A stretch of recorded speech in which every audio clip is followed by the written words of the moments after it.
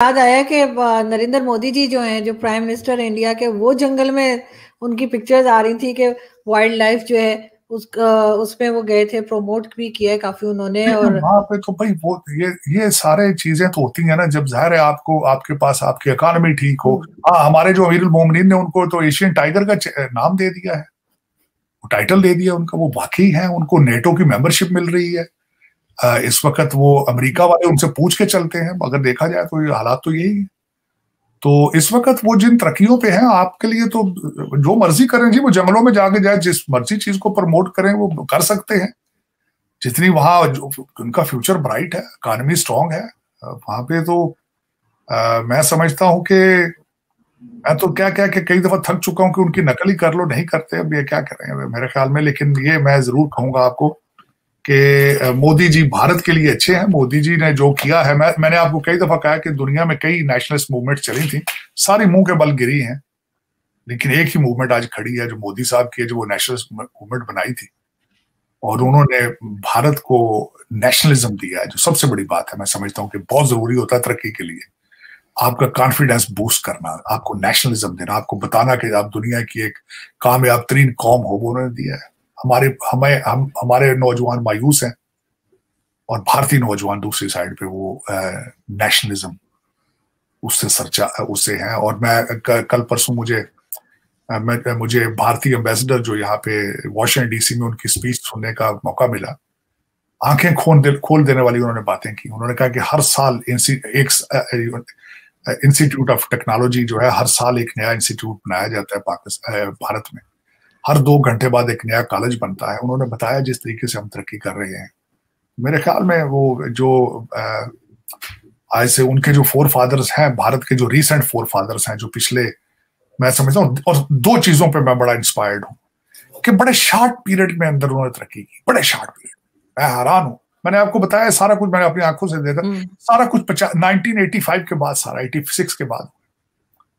लेकिन नेशनलिज्म लोगों के मैंने किरदार देखे किरदार साजी हमने तो छोड़ दी ना अपने तो हम्म। हमारे तो फिर वो अब लंदन वासी लोग हैं खैरात पे चलने वाली कौम है।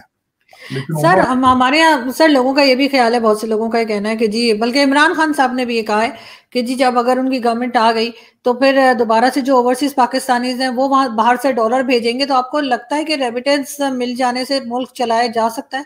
कि सब पाकिस्तानी जो बाहर चले गए या बाहर हैं जिसमें आप जैसे लोग भी शामिल हैं क्या उनके पैसे यहाँ भेजने से मुल्क चलाया जा सकता है? गलत बात है। मैं एक बात बताना चाहूँगा मैं खुद ओवरसीज पाकिस्तान हूँ लेकिन हमें तो माफ़ी दे दी है खान साहब ने। उन्होंने सिर्फ़ डॉक्टरों को पिक किया है। आपने उनकी तकरीर नहीं सुनी होगी। खान साहब जब भी पैसों की बात करते हैं साथ डॉक्टरों की बात करते हैं। उन्होंने कहा डॉक्टर जो लोग पाकिस्तानी हैं वो हमें पैसे देंगे चलाएँगे। मेरे जैसे जो अनस्किल्ड लोग हैं देखिए मैं ला करके आया था ना कुछ स्किल नहीं है ला तो पाकिस्तान में बच्चा बच्चा करके फिर रहा है वहाँ पे। कोई जब कानून ही नहीं है तो कानून वकीलों का क्या करेंगे वो? हालाँकि मैं तीसरी जनरेशन से इस काम में हूँ। खास साहब ने कहा डॉक्टरों के पैसे चाहिए इन्हें पैसे। दूसरे जो टैक्सी ड्राइवर ये जो तड़पते फिर रहे हैं पीटीआई के नक्शे उठा उठा के जो कहते हैं कि शाफ चली शबाब शबाब चली पाक पीटीआई चली उनको तो उन्होंने माफ़ी दे दी। हाँ अब, अब मैं ये कहूँगा खान साहब लोग अपने माँ बाप को पैसे भेजते हैं आपको थोड़ी भेजते हैं। सबसे पहले आपने हमें जूते मार के वहाँ से निकाला है। कोई स्किल आपने दी नहीं है। हम यहाँ टैक्सियों में बॉर्डर क्रॉस कर करके पहुँचते हम कौन सी डिग्रियाँ लेके आए भारतीयों की तरह? हमारा कौन सा institute of technology Indian institute of technology है? हमारी तो वहाँ छह डिग्रियाँ लेकर आएँगे। बैचलर के बराबर नहीं समझते। आरज़ू आपको मैंने बताया था मैंने आपके इस्लामाबाद की एक यूनिवर्सिटी का लड़का रखा है हायर किया एमबीए करके। दो वो एक एप्लीकेशन एक लेटर नहीं लिख सकता था इंग्लिश में। ये स्टैंडर्ड्स हैं आप मुझे ये बताएँ आपके हालात क्या हैं? कितने इंग्लिश चैनल हैं पाकिस्तान के अंदर? एक भी नहीं है। ये जो ऑक्सफोर्ड से पढ़ के गया है उसको भी ट्वीट करनी पड़ती है तो उर्दू में करता है। तो फिर वही वही वो उर्दू पढ़ने वाले जब आते हैं यहाँ पे डॉक्टर तो उनके हालात क्या होते हैं? सर वो तो डिग्री भी नहीं मानी जाती। मेडिकल की डिग्री अक्सर यूनिवर्सिटीज की नहीं दो चार के अलावा। हमें बड़ी मुश्किल से इंसान मानते हैं भाई वो। आप कहते हैं डॉक्टर मानेंगे वो। हाँ ओवरसीज पाकिस्तान देखें, पूरा, पूरे पाकिस्तान में से एक बंदा है जो कहता है कि हाँ मेरे पास प्लान है, किसी के पास प्लान नहीं। प्लान क्या है? ओवरसीज पाकिस्तानी से आगे पैसे लगाएँगे। भाई प्रॉपर्टियाँ हमारी कब्जे कर गए आप, जूते मार मार के हमें निकाला वहाँ से आपने। अब हमारे पैसों पर नज़र है। अब हमारे रिटायरमेंट पैकेजों पर नज़र है आपकी। अब हमने जो सारी ज़िंदगी मजदूरियाँ कर करके कमाया, आपका दिल है वो भी खा के तो आप अडकार मार जाए आप। बड़े जालिम लोग हो यार। अब मरे वालों को कहते हैं शहीदों से भी मज़ाक करते हो। पहले निकाला मुल्क से मुहाजिर किया जलील किया। मुझे यह बता क्यों क्यों निकलता बंदा अपना मुल्क छोड़ के? देखे ना पहले तो आपने हमें पहले तो आपने हमें दिखाया कि आए पाकिस्तान का मतलब क्या आए। जी इस्लाम दे आपको।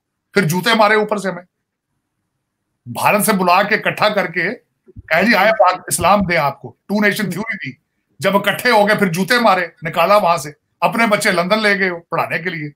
डाका मारने आते हो डाका मार के फिर वापस चले चले जाते हो। अब यहाँ पे सुकून से आगे बैठे हैं अब फिर भी तुम्हें यह पसंद नहीं है। अब फिर हमारा गिरेबान फाड़ना चाहते हो।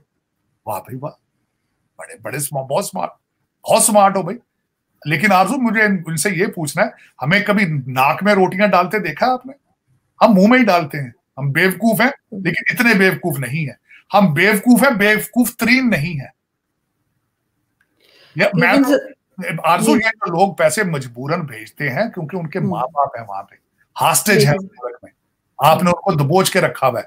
तो यहाँ से वो पैसे उनको भेजते हैं। ये समझते हैं शायद हमें भेज रहे हैं। हाँ भेजते इस तरीके पूछे इनको ये ये नशा कहाँ से? क्योंकि वो डॉलर जाते हैं डॉलर फ़ौरन संभाल के लंदन भेज देते हैं। बिल्कुल ऐसा ही है। उस पे लगे हुए हैं उस पे लगे हुए हैं। लेकिन ये कि इनको ये बता दूँ एक एक डॉलर एक एक पाउंड के साथ बद दुआएँ भी जाती हम्म।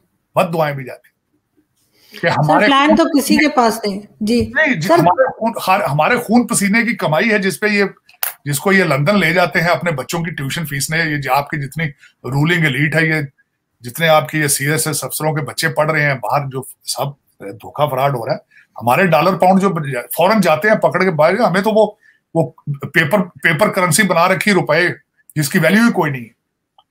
आप मुझे ये मेरा आपसे क्वेश्चन केले का रेट बता दें रमज़ान से पहले क्या था आज क्या है? बिल्कुल। कोई बहुत जी। गवर्नमेंट का कोई कंट्रोल नहीं है और सारे जखीरा दोस्त है वो सारे अब उम्र करने जाएँगे सऊदी अरेबिया। सारे। सर छह सौ रुपए के तो एक दर्जन केले आ रहे कौन कौन खा सकता है कौन ले सकता है?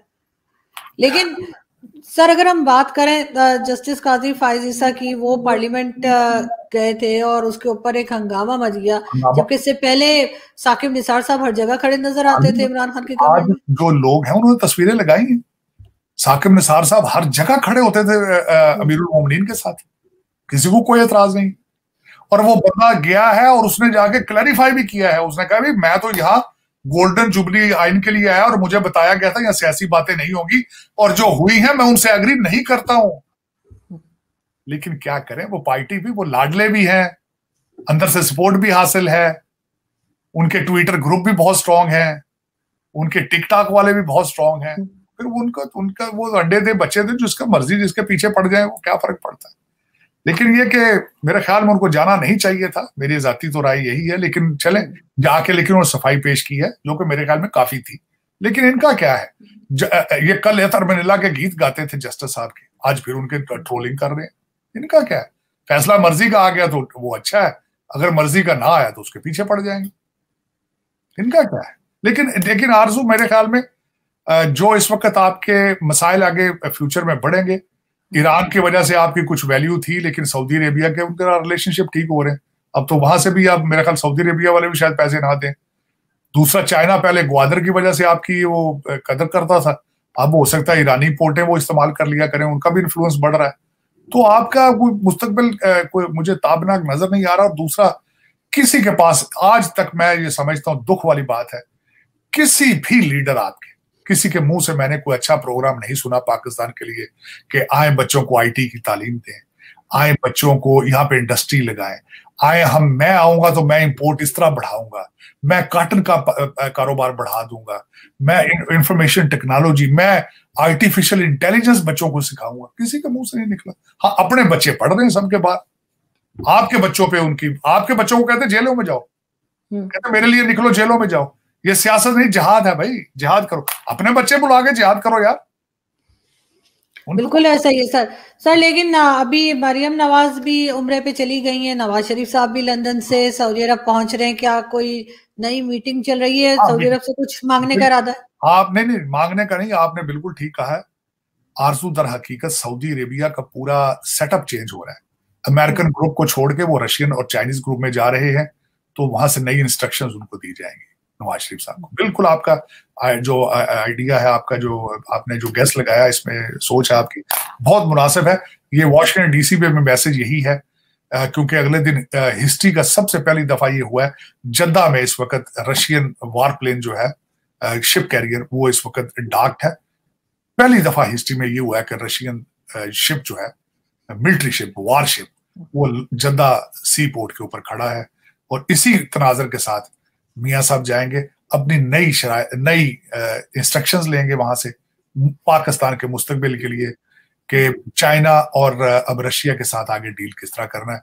क्योंकि अमेरिका जो है वो बेचारा मर्दे बीमार था, पहले ही बीमार था, और ज़्यादा बीमार हो चुका है।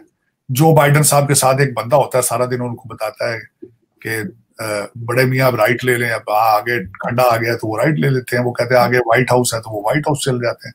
ओबामा साहब शिकागो से या पता नहीं डीसी से बैठ के किस तरह लेटरों के ऊपर साइन कर देते हैं तो हुकूमत इस तरह चल रही है। तो अल्लाह अल्लाह सर अमेरिका में सर अमेरिका में भी खड्डे होते हैं मैं समझी सिर्फ़ पाकिस्तान में। खड्डे अब बन गए हैं ना। पहले नहीं थे दो ढाई साल में खड्डे बने हैं ना देखें। जापान भाग गया छोड़ के वो रशिया से तेल ले रहा है। फ्रांस आज चाइना में बैठा है यूरोपियन यूनियन वहाँ बैठा है ब्राज़ील भाग गया चाइना के साथ। आपका कौन सा मुल्क बचा? कोई भी नहीं बचा सारे भाग गए। अब मैं आपको बल्कि एक और बताना चाहता हूँ, सबसे बड़ी बात जो इस वक्त अमेरिका में चल रही, वो पेंटागान के पेपर लीक हो गए, सौ पेपर लीक हो गया। और स्नोडन के बाद कहते हैं, सबसे बड़ा इंटेलिजेंस लीकेज हुआ है, और जो रहती सहती इज़्ज़त थी अपने एलाइज की नज़रों में, वो भी खत्म हो गई अमेरिका की। क्योंकि इनका सबसे बड़ा हमेशा ये कहते थे इसराइल की हम सपोर्ट करेंगे अनकंडीशनल सपोर्ट कि चाहे जो मर्ज़ी इसराइल करे, हम उसके साथ खड़े आज उसकी भी निकल आई है रिपोर्ट इनके वो पेपरों में लीक हुई जो पेंटागान की देखें और किसी के कोई कोई परेशानी नहीं फ़िक्र नहीं है। उसमें रिपोर्ट में ये लिखा है कि इस वक्त जो बीबी नतन्याहू के खिलाफ वहाँ जुलूस निकल रहे हैं जुडिशल रिफॉर्म पे वो मुसाद फंड कर रही है और अमेरिका फंड कर रहा है। बिल्कुल। और दूसरी खबर ये निकल आई है कि इन्होंने अंदर अपने बाहर लोगों को कहते हैं कि यूक्रेन जीत रहा है अंदर खुद कह रहे हैं उसको वो तो एयर डिफेंस के उसके तो मिसाइल खत्म हो गए। हम्म। फिर उसके बाद उस रिपोर्ट में लिखा है कि इजिप्ट जो है वो भी असला रशिया को बेच रहा है। टर्की भी असला रशिया को बेच रहा है। तो इनके तो आइसोलेशन में बेचारे चले गए। इनका, इनके तो कोई फ़िक्र नहीं नहीं वाका नहीं। हकीकत यहाँ पे इस वक्त मरवाना और ड्रग्स इतनी बिक रही है, इतनी खुलेआम बिक रही है ओपन ड्रग मार्केट्स हैं। लगता है जिस तरह हर अमेरिकन ही शराब के नशे में, शराब के नहीं ड्रग्स के नशे में चूर है। होश ही नहीं हो देखे ना इंटेलेक्ट सारा आउटसोर्स करके भारत भेज दिया सारे सीईओ भारतीय। बिल्कुल। अपना गोरा किधर गया? वो कहीं नशे में पड़े में सर हर कंपनी में सर इंडियंस लगे हैं जितने भी आप देख लें बड़ी कंपनीज़ में सब जगह इंडियंस हैं। मैं अगले दिन जब बैठा हुआ तो भारत के एम्बेसडर साहब कह रहे थे कि हर जो सीईओ जहाँ नहीं भी उनकी बोर्ड में एक दो सीईओ एक दो बोर्ड मेंबर इंडियन होना ज़रूरी है क्योंकि उससे उस कंपनी की प्रेस्टीज बढ़ जाती है। ये हालात है अमेरिका तो फिर अपने गोरे मियाँ जो है वो क्या नशे में कहीं फिर रहे हैं गोठे में किसी कोने में बैठे होंगे? इंटेलेक्ट भी आउटसोर्स कर दिया और सोचना ही बंद कर दिया पता नहीं क्या बात। कोई ऐसी नज़र लगी सब जब सितंबर ग्यारह हुआ उसके बाद उठे ही नहीं है। पता नहीं क्या बात है सो गए बेचारे हाँ उसके बाद से और ज़्यादा हालात खराब से खराब हो रहे हैं। लेकिन सर लास्ट में मैं ये पूछना चाहूँगी आपसे कि वो नेशनल सिक्योरिटी कमेटी के मीटिंग के बाद से कुछ इन्होंने ऑपरेशंस किए हैं। आज भी बन्नू में कह रहे हैं कि तीन दहशतगर्द बकौल इनके